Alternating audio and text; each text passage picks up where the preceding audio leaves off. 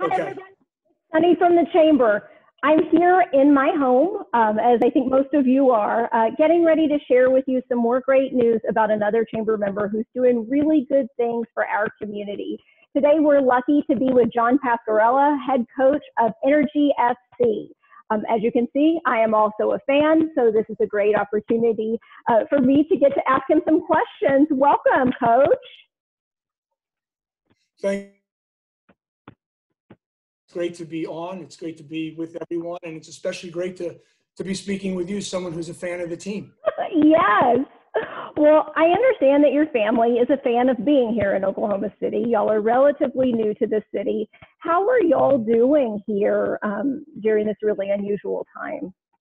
We are uh, we are well, but we are we are still separated actually with the timing of preseason, uh, the timing of when I took the job, uh, which was in, in December essentially. Um, the start of preseason being January 15th, and then school getting out in June. Um, we were going to leave my youngest daughter in high school in Minneapolis until June and have the family move when the school.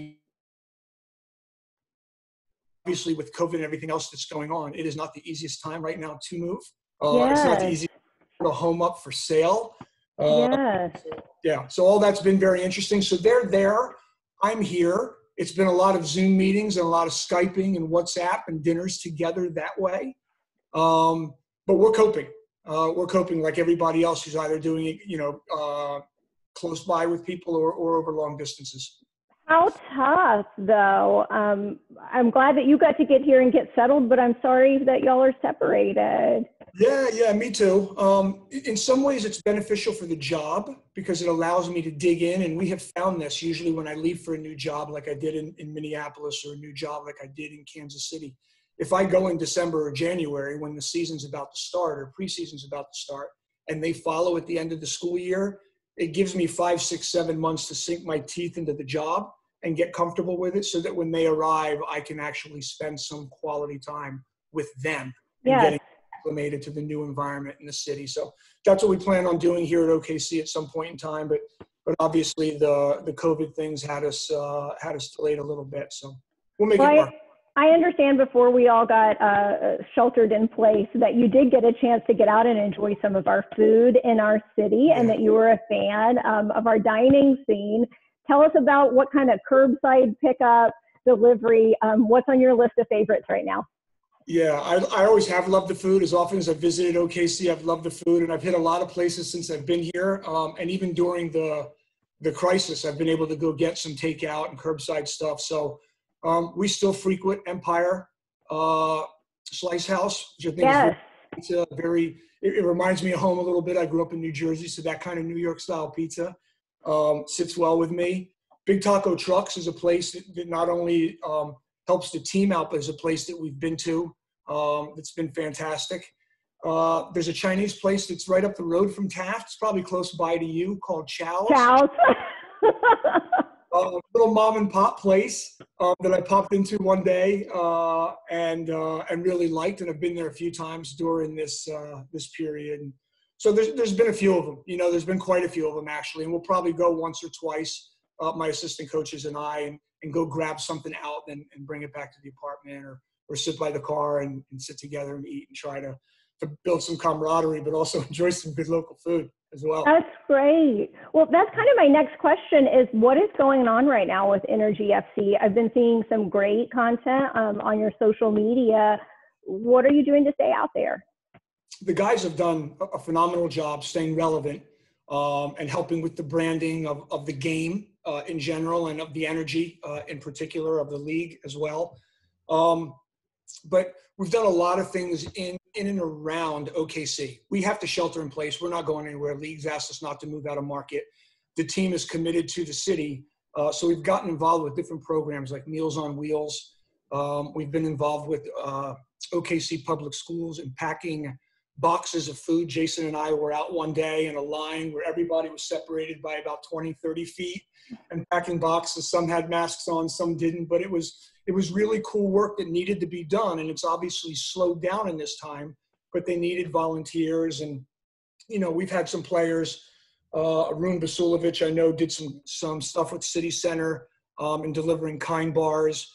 Um, we've presented uh, the people at St. Anthony's Hospital with a delivery from Papa John's because they're on the front lines working every day. So we wanted to make sure, and I'm sure that there's other people that are doing it as well, but Papa John's is one of our sponsors. So we'd work with them to deliver some pizzas uh, to people that were working or in between shifts that couldn't leave the hospital and had to sleep there and, and grab something decent to eat. And so there's a lot of those things that have been, been going on. Organizationally, we've donated, I believe, everything that's involved with our merchandising has been donated to, is it United Way, I think? And I'll double check to make sure. It is the United Way Fund. Um, everything that we've generated in April, and I don't know if that goes through May. I would have guessed it might extend into May as well. Um, hopefully, I'm not speaking out of turn, but all of our merchandising revenue um, we're donating uh, to the United Way. So the, the organization, the players, the coaching staff, everyone in the front office has been involved because we're all here. We're rooted in the community and we're trying to do everything we can, um, players included, uh, to make things make things better for where we are. We, if we wanted to go online now and purchase Energy FC merchandise, we can do that online, and then those funds will go Yes. to United Way. Yeah. That's It's about, great. the only, it's about the only way you could do it because you're not going to show up at the office right now and buy them. No, that's true. Although I have purchased from in your office uh, Yes. before. Too. My husband's getting a lot of use out of some sweatpants I bought in there for him Yeah, um, for the holidays. Yeah. It's actually pretty fun to go in and purchase in there because the environment's good, the coaching staff's around, the front office people are there. Our, our, our fans seem to find it enjoyable to come in there because you never know who you bump into and who you're talking to. And Jeff Kretschmar helped me pick out which sweatpants to get. yeah, there you go. There you go. So we also recognize the anniversary um, of the Oklahoma City bombing this month, and I know that you all have done some particular things around that too. Talk to me Yeah. about that. Yeah, um, both on a, it's interesting you asked the question because both on a personal level and then on an organizational or a, or a professional level, we were lucky. I think um, we were fortunate in the timing. We, a little bit of it was was kind of seeing into the future. Part of it was a timing issue with some other things that were unrelated. But we were able to wear our commemorative kits, which were in the colors actually of the, of the shirt I'm wearing now, was in the black and in the silver.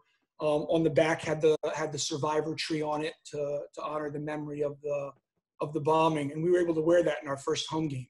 We had a match scheduled for this past weekend. It would have been a commemorative match that obviously had to be abandoned because of everything that's gone on. But we will do that, and we will honor the moment um, when the, the time is appropriate with our season again. But the way we did it with the jerseys and the the interesting way that they all came out at the very beginning of the season for our home opener uh, was a fantastic way to commemorate it. On a personal level, um, I went down and visited the site for the first time uh, this weekend. And although the museum's closed, the actual grounds, I've never walked before. I've never had a chance to kind of walk that area and, and to look around and, and, and kind of feel it and absorb it and, and, and be somber in the moment and kind of take it all in. And, and kind of say a quiet prayer, you know, um, as you find yourself doing kind of in those moments when you visit those types of sites. So um, it was interesting. It was moving, but but the question that you ask is an interesting one for me because on both the personal and the professional level, it's it's hit home locally, um, and not something that I've given a ton of thought to before I moved to the Oak area, but something that obviously is part of our history and our our heritage. Speaking of which, I'll ask you a question about our history and heritage. Someone recommended the book Boomtown, I think. Yes. about OKC. Good read, good book, fair description or not? Good read, good book. Good read, good book. Okay. Maybe not a fair. Okay, well, good. I want to. I want to know where I am, um, and I've been back and forth so often with our connection, with our club's connection to Sporting Kansas City when Energy was in its infancy, because I was with SKC. So the connection is there with the city and the town, but I still don't know a lot of the history and tradition. I didn't grow up at home. I didn't go to school um, here. So uh, somebody recommended it, and it's something I want to I want to read and, and, and look into. But back to your question, personally, to to visit that site and to kind of feel that in that way with that type of emotion instead of from it being from a distance was very moving this past weekend. Well, to your point, you got to have one match and wear those special kits, and then y'all were out on the road until um, everything kind of shut down. So we haven't had you here back at home. When do you think we'll get to? Um, I honestly think that by maybe the end of May we'll be training, early June, I would think at the latest, and then playing by late June, early July. And, and I think those two dates between where we start training again and, and where we go back into playing will probably be separated by a month. Because the reality is the players are going to need another month of acclimation and, and playing in preseason, really, preseason number two in the year 2020, um, to be able to have a good season and kind of withstand the, the rigors of it. So, yes. Well, I'm excited to get back over there, um, not just to see you and the you and the team, but also because you got the Will and Wiley Seltzers this season, and I only got to have that experience once, so I look forward to having it again.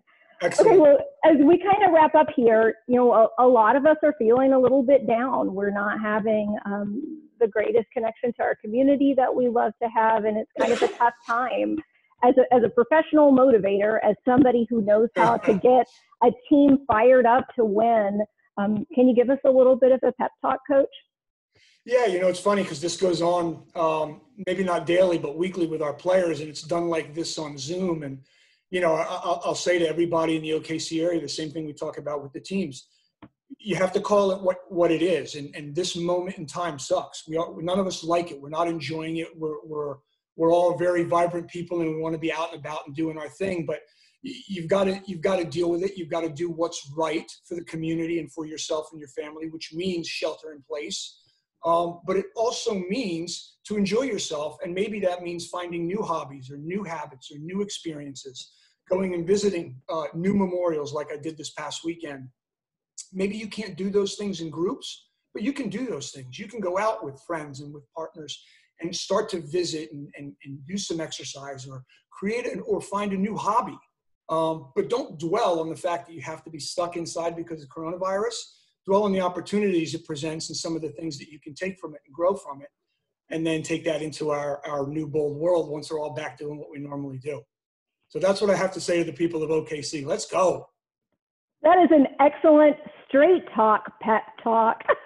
there you go. Okay, well that is that is uh, that is uh, a native New Jersey guy uh, becoming an Oklahoman. We are we are straight shooters. I like it. I feel it. Um, and I, I felt your heart for the community in our conversation here today. So thank you so much for making time to talk about this stuff today. Thank you for all that you guys are doing for our community right now. Um, look forward to having you here whenever we can all be together again.